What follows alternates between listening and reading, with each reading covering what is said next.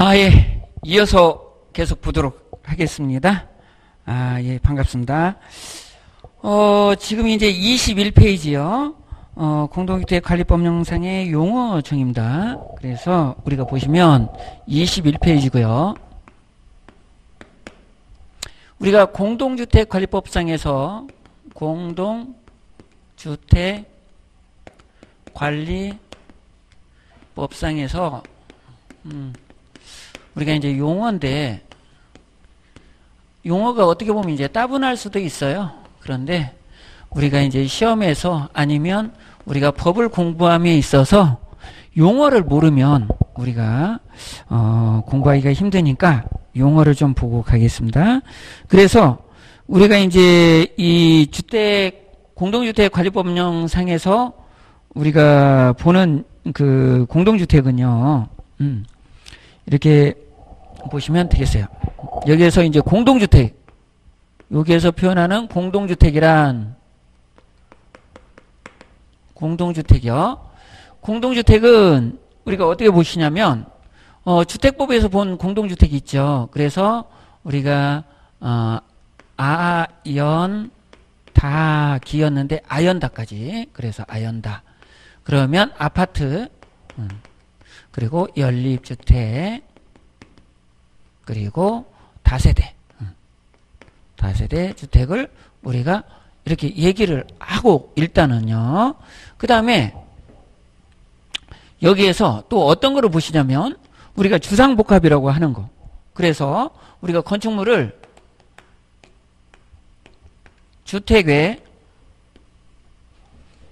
시설과 음, 주택 주택을 동일 건축물로 건축한 주택을 동일 건축물로 건축한 건축물. 그게 뭐냐? 그랬더니 어, 줄여서 주상복합. 그러니까 이거를 전부 이렇게 쓰는 것도 이렇게 좀 그렇죠. 어 그리고 여기에서 부대 시설 그리고 복리 시설 등을 우리가 어, 공동주택으로 이렇게 보고 있다. 공동주택관리법상에서. 그렇게 보시면 되겠고요. 그 다음에 이제 이게 1번으로 봤던 거고, 우리가 2번으로 이렇게 보시면, 음, 의무관리 대상, 대상의, 어, 공동주택. 택을 보시면, 의무관리 대상이라고 하면, 우리가 첫 번째로 이런 거예요. 그냥 300세대 이상인 어, 어, 아파트는 우리가 의무관리 대상의 공동주택이다 이런 거예요. 그러니까 300세대 이상이면 의무관리 대상이다 이렇게 보시면 돼요. 그러면 300세대 이상이라는 것은 세대수가 300세대 이상만 된다는 거예요. 의무관리 대상이 되면 뭐냐? 그럼 법적인 규제를 받아요. 그러니까 의무관리 대상이면 자격증이 있는 주택관리사 보 합격을 하고 또 우리가 경력을 쌓으면 주택관리사가 되잖아요. 그럼 주택관리사가 관리해야 되는 그런 의무적인 의무가 있고 그 다음에 자치관리기구를 구성을 해야 돼요. 그러니까 그 다음에 두 번째로는 150세대 이상이면서 어, 우리가 승강기를 갖추고 있거나 그 다음에 중앙 집중 난방 방식.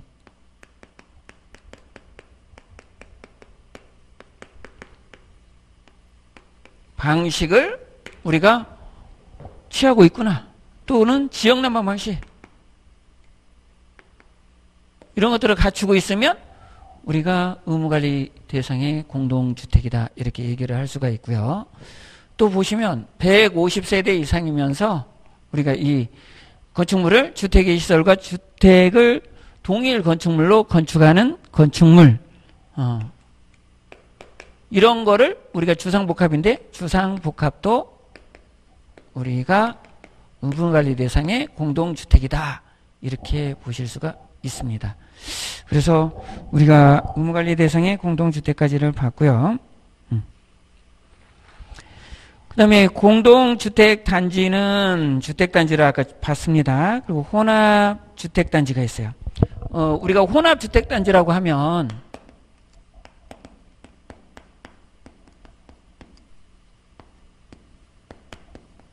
혼합 주택 단지는 우리가 이런 거죠. 어, 분양이 있고 또는 임대하고 이렇게 섞여 있는 음, 혼합되어 있는 아파트 그러니까 이런 데에서 우리가 보시면 분양하고 임대하고 이렇게 같이 있으면 제가 이런 아파트 있어 봤어요. 이런 아파트에 있었는데 여기에는 분양 쪽에는 임대에서 이제 분양으로 넘어간 거죠. 그래서 반은 분양이 됐고 반은 남아 있어요.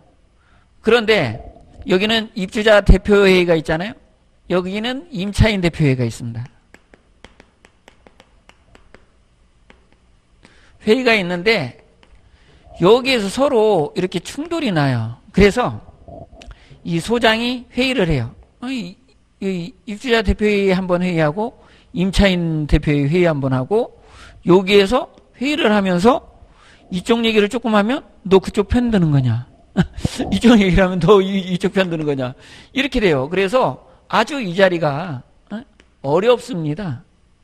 그리고 어, 분쟁의 소지가 굉장히 많아요. 그래서 이런 데는 좀 그 골치가 좀 아파요.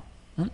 그래서 어, 이런 데에서는 이제 그 가래를 타는 게 있는데 이제 가래를 타는 데에도 많은 그런 문제점이 생기기 때문에 그 그런 가래가 안 타지면 어, 이제 공동주택 공동주택 분쟁위원회가 있어요. 이 분쟁위원회에 우리가 이제 그 의뢰를 해요. 이런 분쟁이 있으니까 해결을 해주세요. 그런데 이 공동주택 분쟁위원회는 중앙에도 있어요. 중앙에도 있고 또 지방에도 있어요. 그래서 중앙에 있는 공동주택 분쟁위원회, 지방에 있는 공동주택 분쟁위원회. 그래서 어 아무래도 중앙은 이제 국토교통부 내에 이렇게 두게 되는데 아무래도 이제 그 볼 수 있는 그러니까 분쟁을 해결할 수 있는 그런 게 좀 많죠. 그래서 우리가 지방에서는 한정적으로 작은 건에 대해서만 하는 거고 중앙에서는 좀 큰 건을 이렇게 분쟁 해결을 할 수 있다. 이렇게 보시면 되겠습니다. 음, 그리고요, 어, 입주자 아까 봤고요. 입주자는 공동주택 소유자, 그 소유자를 대리하는 배우자, 직계 좀비속을 말한다. 사용자란 공동주택을 임차하여 사용하는 사람을 말한다. 입주자 등이란 입주자와 사용자를 어, 함께 말하는 것을 말한다. 입주자 대표 회의는 공동주택의 입주자 등의 대표를 관리하여 관리에 관한 주요 사항을 결정하기 위하여 제14조에 따라 구성하는 자치의결기구다. 그래서 우리가 자치의결기구를 두어야 돼요. 그리고 요거는 법정기관이죠. 뭐 최고의결기관이 되겠습니다. 그 다음에 관리규약이 있어요. 관리규약이란 공동주택의 입주자 등을 보호하고 주거생활의 질서를 유지하기 위하여 제18조 2항에 따라 입주자 등이 정하는 자치관리규약을 말한다. 어, 관리 주체란 공동주택을 관리하는 다음에 강목자를 어, 말한다. 제6조 1항에 따른 자치관리기구의 대표자인 공동주택의 관리사무소장 제3조 1항에 따라 관리 업무를 인계하기 전에 사업주체, 어, 주택관리업자, 임대사업자 등이 있다. 민간 임대주택에 관한 특별법에 따라서 주택임대관리사업자도 어, 주택임대관리사업자도 어, 관리 주체가 된다. 어, 주택관리사 보란, 주택관리사 보호 합격 증서를 발급받은 사람을 말한다. 그러면 여기서 주택관리사 보호가 있어요. 이 주택관리사 보호는 그러니까 자격증을 가지고 있다고 표현하는 게 아니라 합격증을 가지고 있대요. 합격 증서를 받은 사람이 주택관리사 주택관리보예요. 그리고 경력을 쌓으면 주택관리사가 되는 겁니다. 그 주택관리사란 주택관리사 자격증을 발급받은 사람을 말한다. 그래서 사란 어, 자격증을 발급받은 사람 그리고 주택관리사 등이란 이 사하고 부하고 합해서 어, 주택 관리사 등이라고 한다. 이렇게 보시면 되겠습니다. 그러면 주택관리업이란 공동주택을 안전하고 효율적으로 관리하기 위하여 입주자 등으로부터 의무관리 대상 공동주택의 관리를 위탁받아 관리하는 업을 말한다. 주택관리업자 주택 관리업을 하는 자로서 1항에 따라 등록한 자를 말한다. 장기수성 계획이란 공동주택을 오랫동안 안전하고 효율적으로 사용하기 위하여 필요한 주요시설 교체 및 보수 등에 관하여 수립하는 장기 계획을 말한다. 장기 수성 계획은 이런 거죠. 응. 장기 수성 계획이라는 것은 우리가 시설물을 사용하다 보면 수선을 해야 돼요. 수리를 하고 보수를 해야 되는 그런 경우가 생겨요. 어. 그러면 이 보수를 하는데 우리가 단기적으로 말고 장기적으로 이 기간이 지나가면 이 정도의 고장이 있을 거야 라고 어, 장기적으로 수선 계획을 잡아서 우리가 계획을 잡아놓는 거예요. 그러니까 이 장기선 계획에 따라서 장기수선 충당금을 사용할 수가 있어요. 어? 그러니까 이 장기선 계획은 우리가 얼마 만에 조정할 수가 있어요. 이 3년마다 조정이 가능해요. 그리고 장기성 계획은 조정뿐이 아니라 검토가 있어요. 검토. 이 검토도 3년마다 검토는 필히 해야 돼요. 어, 3년마다 검토를 하여야 한다.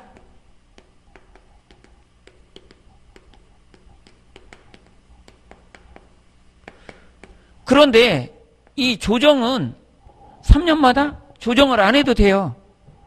왜? 검토를 해봤더니 어, 시설물이 썽썽해. 어? 그런데 썽썽한 시설물을 가르칠 필요는 없잖아요. 그리고 또 보니까 이 조정의 필요성을 못 느껴 검토를 해봤더니 그러면 조정은 안 해도 돼요. 그런데 검토를 바탕으로 조정을 하는 것이기 때문에 검토는 꼭 3년마다 해봐야 된다. 그리고 만약에 어, 조정을 3년 이전에 그러니까 3년 전에 어, 조정을 한다면 어떤 절차를 거쳐야 하느냐 이런 거예요. 그러면 여기에서 장기성 계획은 우리가 조정을 하려면 어떻게 해야 돼요? 입대기가 조정을 할 수가 있어요. 결정을 할 수가 있어요. 아니면 입주자 등이 해야 돼요. 아니면 입주자가 해야 돼요. 요거는 입주자, 소유자만이 할 수가 있어요. 소유주. 그러니까 소유주는 입주자가 됐죠. 우리가 저기에서 종이에서 봤어요. 입주자. 그러면 과반수, 과반수 찬성이 있어야죠. 찬성 동의를 받아야만이 동의를 받아야만이 우리가 3년 이전에 어, 장기성 계획을 추정할 수 있다. 이렇게 보시면 되겠습니다. 그러면 이 법에서 따로 정하지 아니한 용어의 뜻은 주택법에서 정한 바를 따른다. 이렇게 보시면 되겠습니다. 우리가 그러면 공동주택 관리 방법으로 이렇게 넘어가 보시면 되겠습니다. 공동주택 관리 방법은 어, 우리가 24페이지에서 볼 수가 있겠습니다. 그래서 공동주택 관리에 대해서 우리가 이제 보게 되고요. 입주자 등의 의무 그리고 관리 방법 결정을 우리가 보겠습니다. 그러면 여기에서는 이제 그 관리 방법의 결정, 어, 이런 것들은 어, 우리가 이제 어떻게 보면 처음부터 아파트가 이제 지어져서 처음에 시작하는 그런 처음부터 이렇게 시작을 한다고 보시면 되겠어요.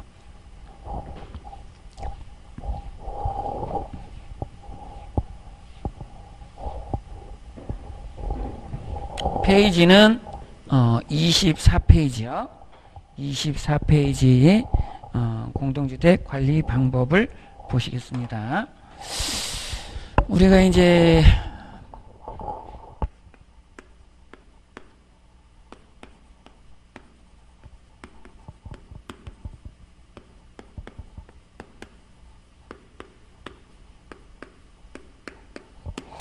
어, 우리가 공동주택 관리 방법을 이렇게 보시면요. 이 공동주택이 아까 탄생할 때에는 어떻게 한다고 그랬어요? 사업계획 승인을 받는다고 그랬죠.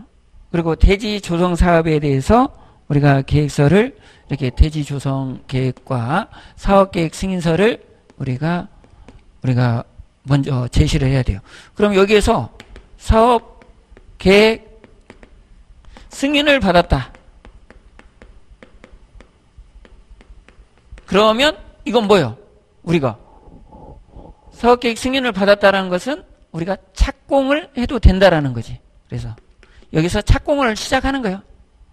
착공을 시작해서 여기에서 어느 시점이 되면 우리가 사용검사를 받을 거예요. 음. 그래서 사용검사를 이렇게 받아요. 그러면 사용검사는 주택법에 의해서 그런다고 그랬고 공동주택관리법에 의해서 우리가 보면 사용검사라고 표현을 하고 있다. 그런데 건축법에서는 뭐라고 표현하고 있다? 사용 승인이라고 표현하고 있다. 이렇게 보시면 되겠어요. 그러면 우리가 사용 검사를 이렇게 통과를 하면 입주를 받기 시작해요. 입주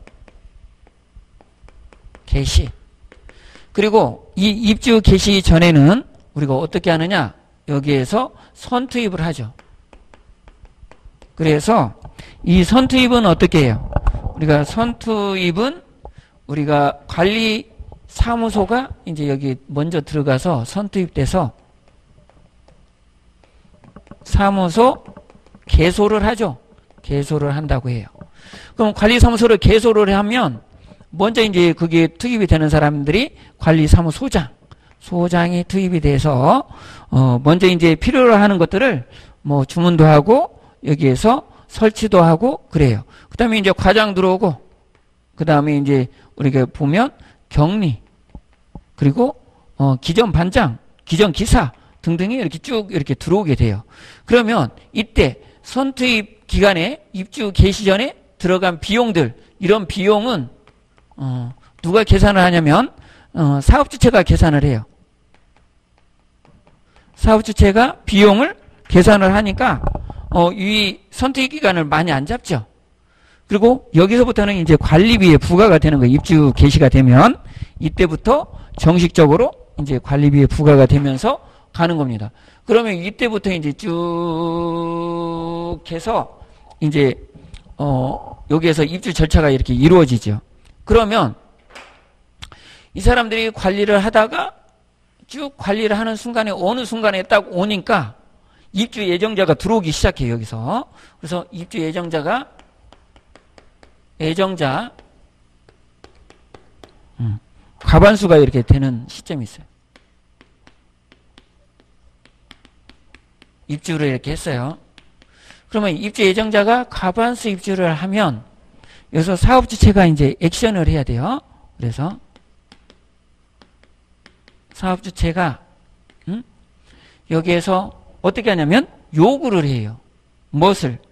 그러면 관리 방법 결정 요구를 해요.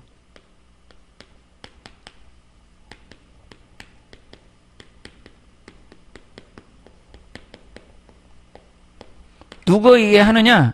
그러면 여기는 입주 예정자. 입주를 안 했으니까 입주 예정자인데 이제 입주를 했어요. 그럼 누구한테?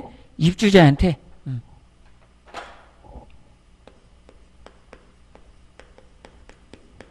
에게 에, 요 입주자 등에게 입주자에게 어, 우리가 관리 방법 결정 요구를 한다. 음, 이렇게 보시면 되겠네요. 그러면 이 관리 방법을 어, 결정 요구를 했어요. 그러면 이 관리 방법을 이제 결정을 해줘야 될 거 아니에요. 그러니까 이 입주 애정자는 음, 여기서 입주자 등은 뭐를 해야 돼요? 이제 여기에서 이렇게 되겠죠. 이 법에서는 이렇게 보면 법 외적인 거는 네, 청색으로 좀 적어볼게요. 그러면 여기서는 먼저 선관위를 구성해야죠. 어? 선관위. 선관위는 선거관리위원회죠. 음. 선거관리위원회를 줄여서 선관위라고 적을 거예요. 그럼 입주자 등은 선관위를 구성을 해요. 그래서 선관위를 구성한 뒤에 이 선관위에서 어떻게 해요? 동별 대표자를 표자를 우리가 뽑죠. 응.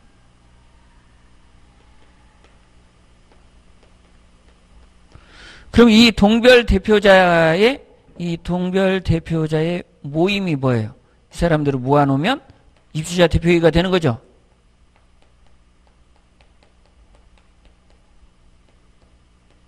회의가 되는 거예요. 그런데 이 전에 음? 이, 이 선관위가 이렇게 있으면 관리 규약이 좀 잘못돼서 예를 들어서 동대표를 더 많이 모집을 해야 되겠다. 그러면 여기에서 나오는 게 뭐예요? 관리 규약을 개정하자 이런, 이런 말도 나와요. 개정. 이 관리 규약 개정은 우리가 지금 뭐예요? 관리가 사업주체 관리예요. 사업주체 관리니까 사업주체의 대리인이 누구예요? 관리사무소장이잖아. 그러면 요 개정 이 시기에 나온 이 관리규약은 관리사무소장이 주체가 돼서 이 이제 그 개정의 주체가 되면 돼요. 그러니까 이제 이거를 하려면 관리사무소장이 바꾼다고 하기에는 그러니까 입주자 등의 너희가 바꾸고 싶으면 어, 입주자 등의 10분의 1 이상이 어, 이렇게 제안을 해라. 응? 개정 제안을. 그래서 개정 제안을 해오면 어, 그때 어, 이렇게 관리계약을 바꾸겠다. 그래서 어, 동대표 인원을 바꾸거나 여러 가지 일을 여기에서 이렇게 다시 해서 동대표를 맞는 숫자를 이렇게 뽑으면 돼요. 그러면 이쪽으로 이렇게 이제 이거는 실무적인 얘기고 이쪽으로 와서 이제 우리가 또 보면 어, 관리 방법 결정 요구를 사업주체가 이렇게 했어요. 그러면 이 입주민들은 동별 대표자를 뽑아서 입대위를 구성을 먼저 해야 돼요. 그러면 이 입대위가 구성이 됐어요. 구성이 돼서 이 입대위에서 자치 관리를 할 것인지 위탁 관리를 할 것인지 결정을 해야 돼. 그래서 자치 관리 또는 위탁 관리를 결정 해야 돼요. 그래서 우리가 자치 관리를 하기로 했다. 그러면 자치 관리 기구를 구성해야 돼요.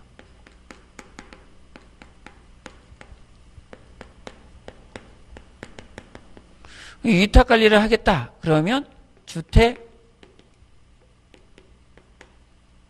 업자를 관리업자를 우리가 이제 뽑아야죠. 어, 그래서 주택 관리업자를 선정해요.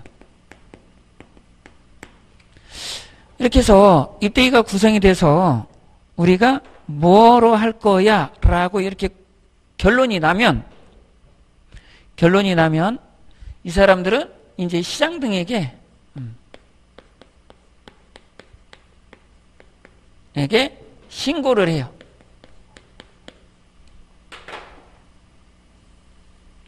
시장 등에게는 신고를 하고 사업주체한테는 통보를 합니다.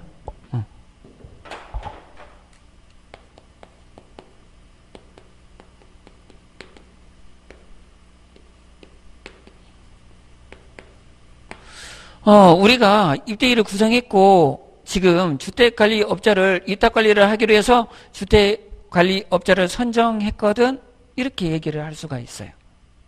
그리고 우리가 이제 이렇게 보시면 돼요. 이 과정에서 우리가 이제 이 이거는 언제까지 이렇게 해야 되느냐? 그러면 이 언제로부터냐면 이 관리 방법 결정 요구를 받은 날로부터 얼마 이내에 해야 되냐면 3개월 이내에 주택관리업자 선정까지를 이렇게 해야 됩니다.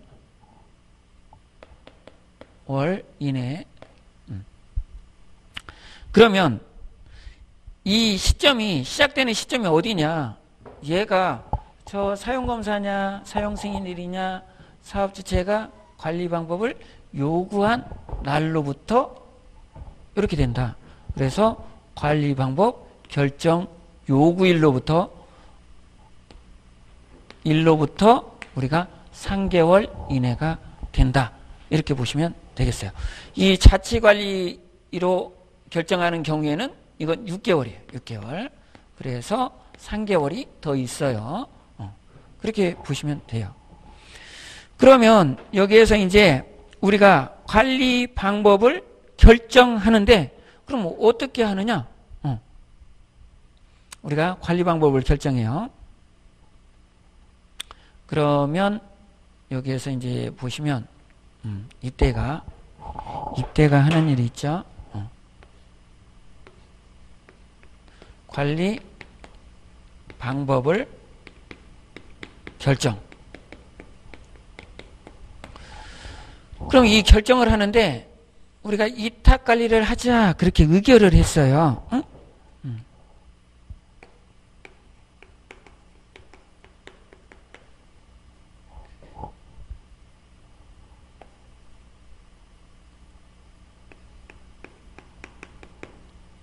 이렇게 의결을 했거든요. 입주자 대표회에서. 그럼 이게 의결을 했다고 결정이 난 거예요? 어, 결정이 안, 안난 거예요. 여기에서 보시면요. 여러분이 이제 그 아파트에 대해 계시는 분도 그렇고, 어, 안 계신 분도 좀 그런 경향이 있는데, 입주자 대표회가 어떻게 보면 만병통치약인 것처럼 이렇게 생각하시는 분들이 있어요. 그건 무슨 뜻이냐? 이런 거죠. 우리가 보시면요. 입대위에서 결정을 했다고 그래서 만사가 다 그 해결되는 게 아니에요. 그리고 입대위는 어 이렇게 서열을 보면 이런 서열이에요. 입대위의 이치는 어 먼저 법이 있죠, 법. 법은 우리가 관리에 적용되는 법이 뭐예요? 공동주택 관리법이죠.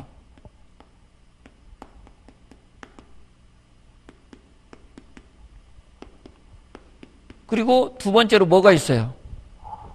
법령을 다 이렇게 지나치면 법령 후에는 우리가 관리 규약이 있죠.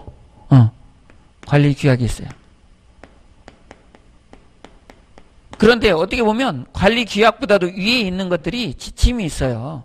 지침이라고 한다면 요 법하고 이 사이 우리가 선정 지침, 사업자 선정 지침 그리고 이 지침에는 사업자 선정 지침이 있거든요. 지침이 있고 또 뭐가 있냐? 그러면 관리 규약 말고 여기에서 회계 공동주택 회계 기준이 있어요.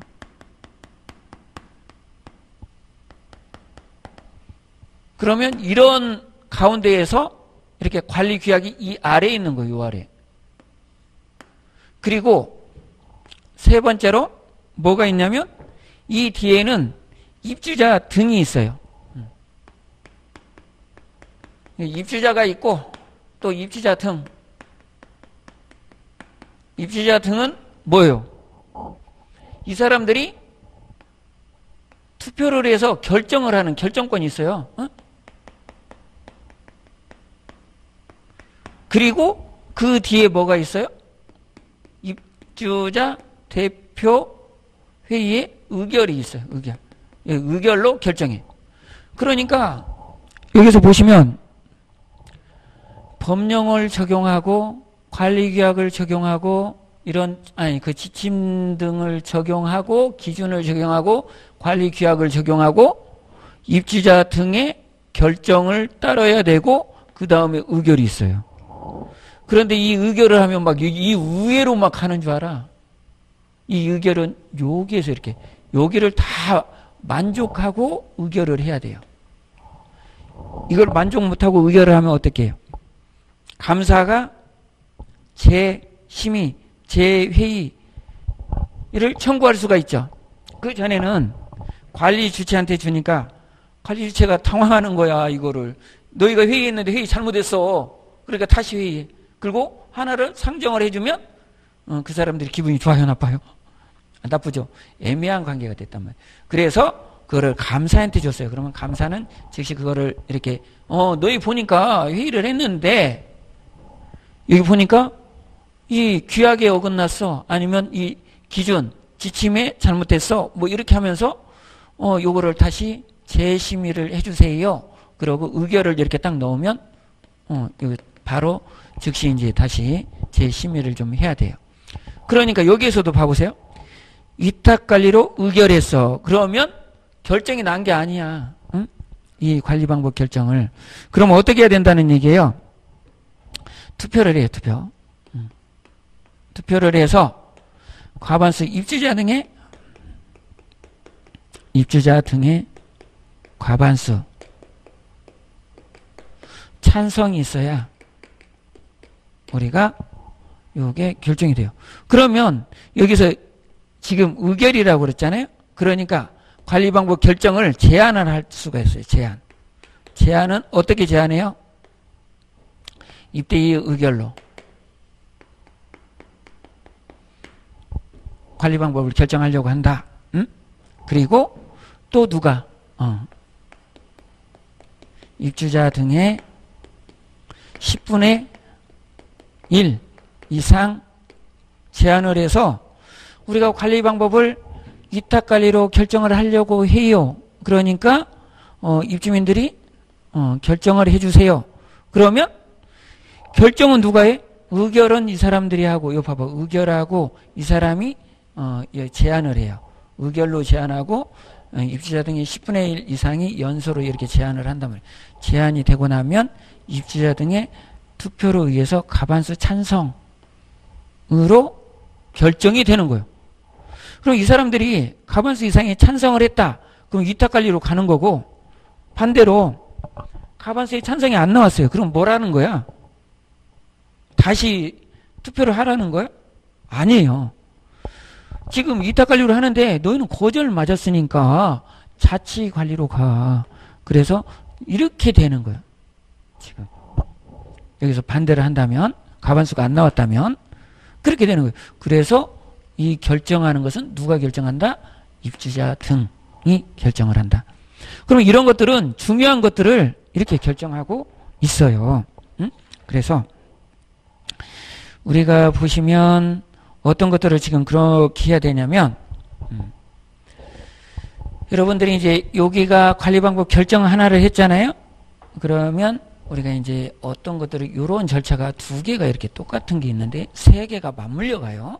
그러니까 제안하고 투표를 이렇게 하면 관리 방법 결정은 하나 나왔고 두 번째로는 이제 관리 규약 규약의 개정 개정이 이 절차로 이렇게 나온단 말이에요. 똑같이 제안을 입대의 의결로 하고 입주자 등의 10분의 1 이상이 제안을 해서 관리 규약을 개정하자. 그러면 이 투표를 해요. 투표를 해서 이제 개정을 할 때에는 여러 가지 뭐 질줄이 이래서 공고를 내겠지요. 우리가 그 준칙사항은 이런 사항이고 현 관리규약은 이렇게 생겼고 그 다음에 바꾸고자 하는 관리규약은 이렇게 생겼고 그래서 어, 개정 전 개정 후 어, 그리고 관리계약 준칙 이렇게 세 개를 삼자 비교해서 이렇게 보여줘서 관리계약 개정 우리가 그 공고를 내겠죠. 그래서 어 이제 과반수 이상의 찬성을 받으면 우리가 이제 어 그렇게 할 거고 이제 개정을 할 거고 그 다음에 이렇게 보시다면 입주를 받다 보면 이제 우리가 시설물 이용을 해야 돼요. 그래서 시설물에는 우리가 어떤 것들이 있어요. 어 여러 가지 시설물이 있죠. 우리가 보시면 그러니까 어떤 시설물이냐면 그 아파트를 보시면 우리가 커뮤니티 센터가 있고 그 안에는 골프장도 있고 골프 연습장 뭐 탁구도 있고 GX룸 그래서 요가 같은 데 할 수도 있는 것도 있고 어 그런 여러 가지 시설들이 있어요. 더 큰 데는 뭐 이제 노래방도 있고 영화관도 있고 뭐 또 어떤 것도 있어요? 수영장도 있고 막 여러 가지가 있는데 거기에서 그걸 운영을 하는데 우리가 자체적으로 운영할 거냐? 그러면 우리 인원도 없다. 그리고 또 지식도 부족하다. 그러면 어떻게 해야 돼? 우리 이탁 관리를 해야 되죠. 어, 이탁 관리를 해야 돼. 그러면 이탁 관리를 해야 되는데 그거를 우리만의 결정으로 돼요? 안 되지. 입주민들이 가만히 있어요? 가만히 안 있죠. 그렇게 하면. 그러니까 어떻게? 여기에서 입대의 의결로 우리 자치 관리하자. 아니면 이탁 관리하자. 이렇게 입주민들의 10분의 1 이상이 먼저 연서에서 나오면 어 그래 그러면 어 이 시설물들 우리가 뭐라고 그랬어요? 주민 공동시설이라고 그랬잖아. 음.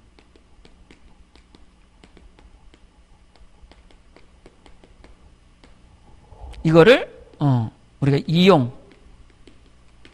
시 이제 우리가 위탁을 할 거냐 자치를 할 거냐 자치 관리를 할 거냐 위탁으로 해서 일임을 해서 할 거냐 이렇게 이런 결정을 이런 방법을 통해서 한다. 그러면 여기에서 이제 우리가 입주민 10분의 1이 이렇게 그 제안을 했다. 그러면 입주자 등 과반수가 찬성을 해주면 어 뭐 위탁이면 위탁, 자치면 자치가 결정이 되는 것이에요. 그러면 여기까지 우선 봤고요. 어, 이어서 우리가 조금 그 못 본 부분도 있긴 있습니다만 계속 이제 또 우리가 강의를 하다 보면 중복되어서 쭉 나가요. 그러니까 그런 부분들을 우리가 같이 보시면 될 것 같다. 그런 생각을 갖고요. 우리가 여기에서 책에서 조금만 더 확인을 하고요. 음. 그럼 입주자 등의 의무 관리가 있어요. 그럼 의무 관리 대상의 공동주택의 입주자 등은 공동주택을 자치 관리하거나 주택 관리업자에게 위탁하여 관리할 수 있다. 여기서 우리가 자치 관리하거나 위탁 관리하여 위탁해서 관리를 할 수 있다. 관리 방법의 결정 방법이에요. 관리 방법의 결정 방법은 어떤 게 있느냐? 그러면 입주자 등이 공동주택의 관리 방법을 정하거나 변경하는 경우에는 다음 갖고 어느 하나에 해당하는 방법으로 한다. 그래서 입주자 대표의 의결로 제안하고 전체 입주자 등의 가반수가 어, 찬성하면 결정이 돼버리는 거예요.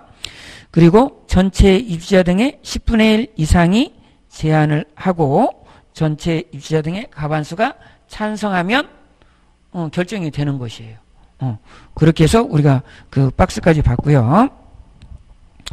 의무관리 대상의 공동주택 전환 등이 있어요. 요거는 제일로 뒤로 넘어가서 제가 나중에 볼 거예요. 그리고 이제 그 자치관리 이렇게 나오는데 거기서부터는 잠시 쉬었다가 이어서 강의를 하겠습니다. 여러분 수고하셨습니다.